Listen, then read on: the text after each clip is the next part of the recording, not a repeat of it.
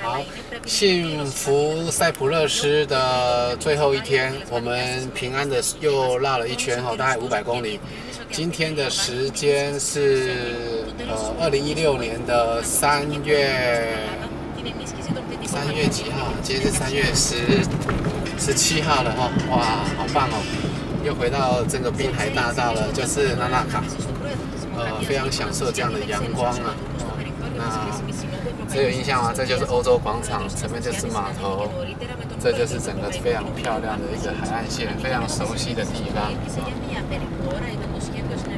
所以呢，这边就。